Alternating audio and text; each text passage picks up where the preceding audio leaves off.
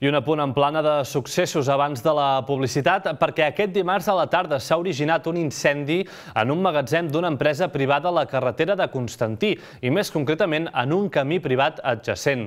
Segons han explicat els bombers a aquest mitjà, no hi havia cap persona a l'interior de l'equipament i el magatzem contenia peces de vehicles. El cos d'emergències ha estat treballant durant gairebé dues hores en l'extinció del foc amb vuit dotacions terrestres. I tot i que l'incendi no ha tingut cap afectació relacionada amb el trànsit, fins al lloc dels fets també s'hi han desplaçat dues patrulles dels Mossos d'Esquadra.